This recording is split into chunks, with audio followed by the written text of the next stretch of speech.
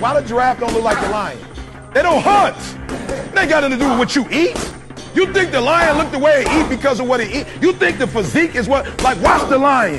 You think that physique is that because of what it eat? It's not. It's the hunt that make it look like that.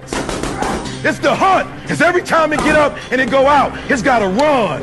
Every time it go out, it's got to jump on my man and boom, bring my man to the ground. And I don't know if you watched it or not, but I promise you, whatever they catch, it ain't just letting them eat it. It's a fight going on. And every time it fight, it gets stronger. Every time it fight, it get more ferocious. Every time it fight, it becomes more of what it is.